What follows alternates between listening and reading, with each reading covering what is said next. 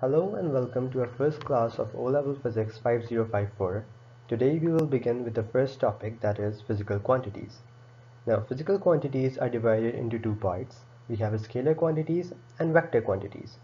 Quantities that only have a magnitude but not a direction are called scalar quantities, whereas quantities that have both a magnitude as well as a direction are called vector quantities. Now we have to ask ourselves what exactly is a magnitude? Well, magnitude refers to the actual value of whatever quantity we are measuring. For example, if I say that an object has a width of 5 meters, 5 meters is a magnitude because it is the value of the length. For example, and similarly, if I say that a cyclist is traveling at 12 meter per second, 12 meter per second is the magnitude of the cyclist.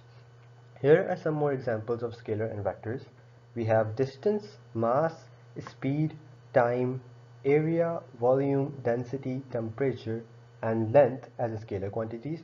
All of these have a magnitude, but they do not have a direction. We do not specify the direction when we measure the mass, for example. Similarly, displacement, velocity, acceleration, force, and momentum are all vector quantities. They have both a magnitude as well as a direction. Notice however that while distance is a scalar quantity, displacement happens to be a vector. So what exactly is the difference? Well, this should clear it up. Displacement, uh, distance is how much an object actually travels to get from one point to another.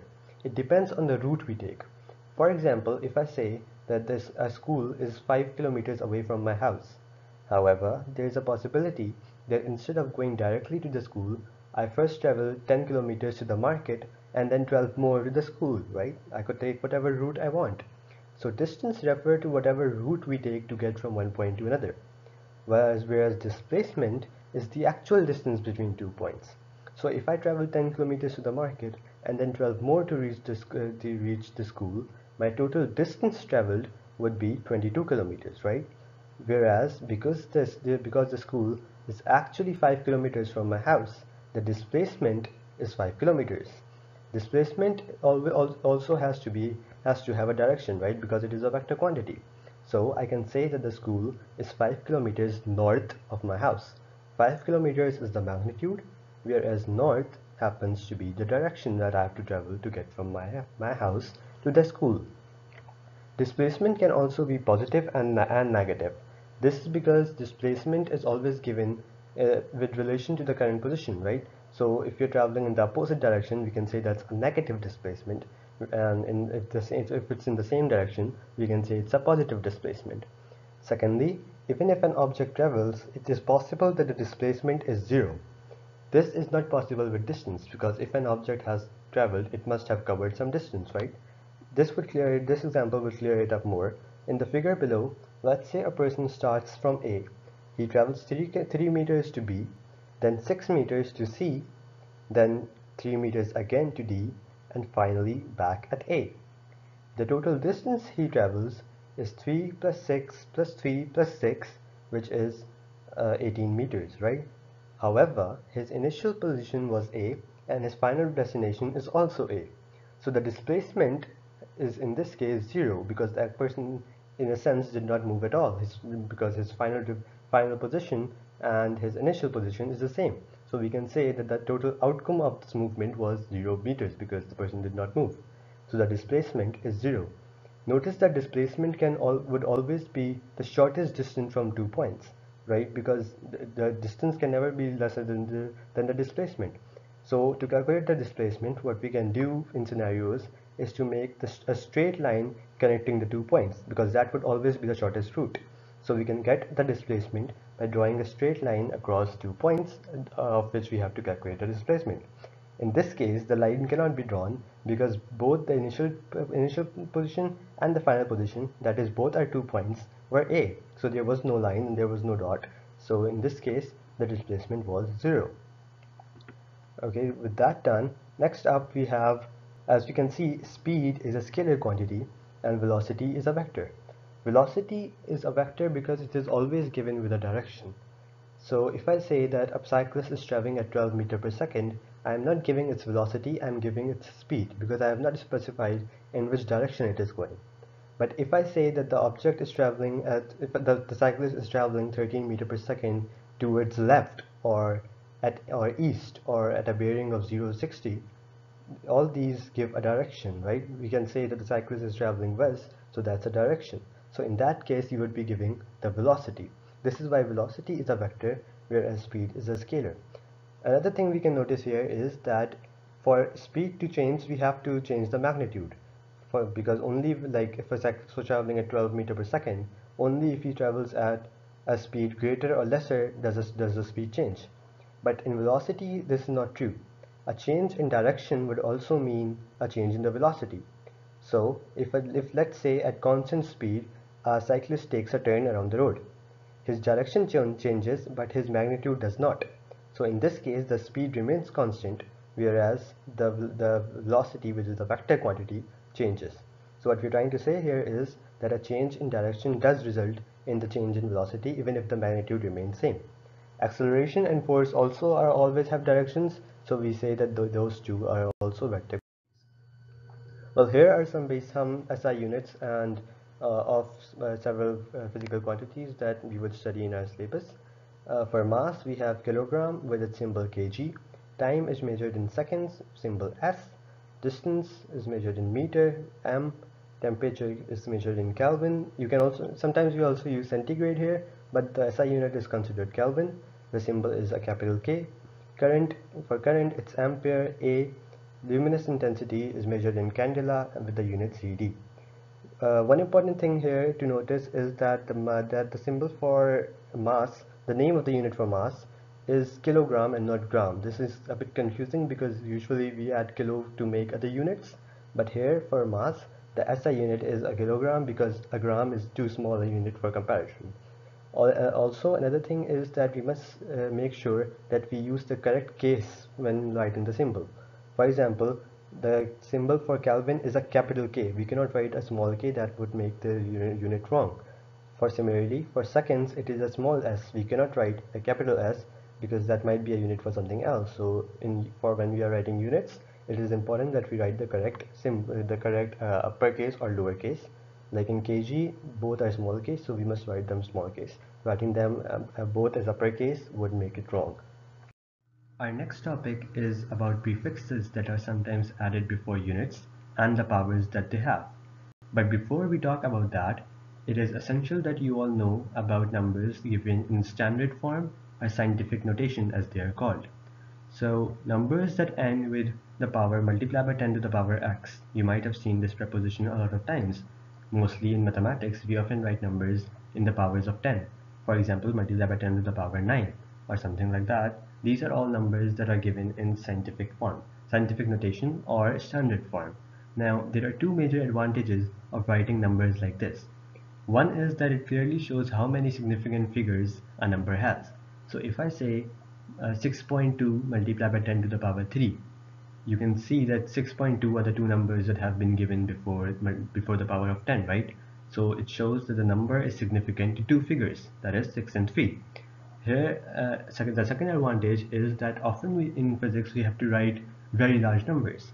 Like the example that is given here is the speed of light, right? It is a 9 figure number, so like very large to write, write. If we have to commonly write this in a lot of times, it would be really, really, really problematic, right? And there are numbers that are even bigger than this. You might have studied the Avogadro's number in chemistry.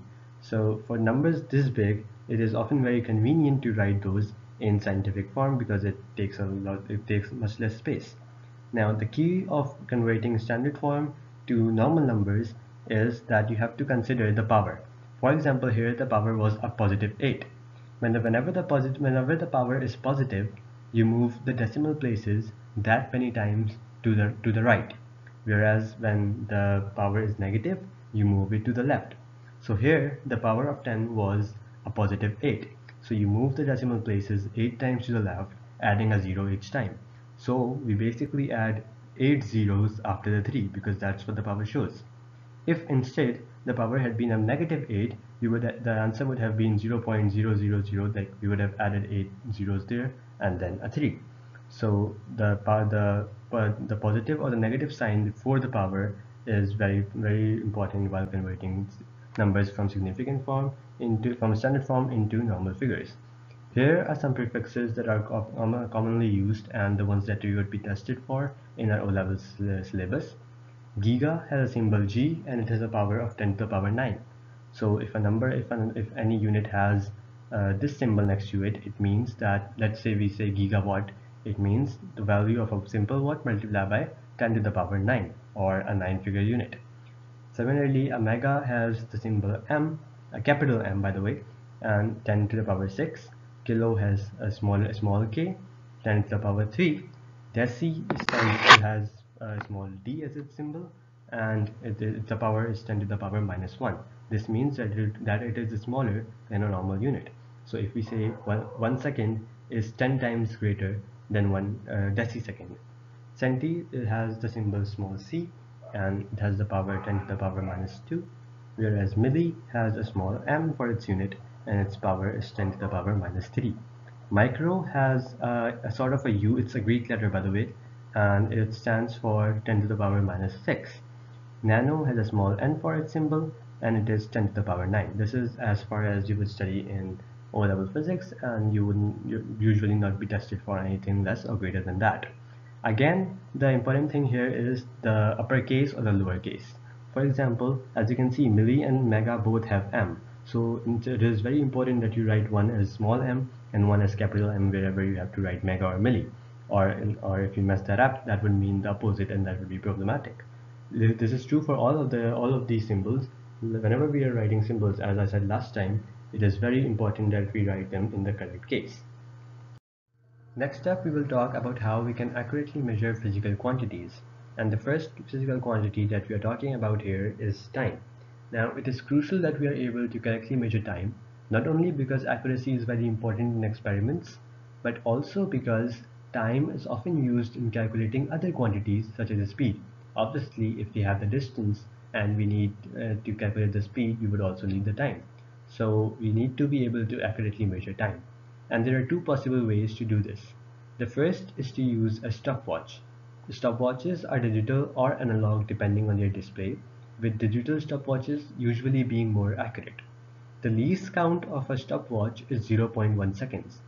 What this means is that, that, that the least possible value that a stopwatch can measure is 0.01 seconds. This is called the least count, the smallest possible value that an instrument can measure. This also means that every every value that a stopwatch gives me is correct to one hundredth of a second.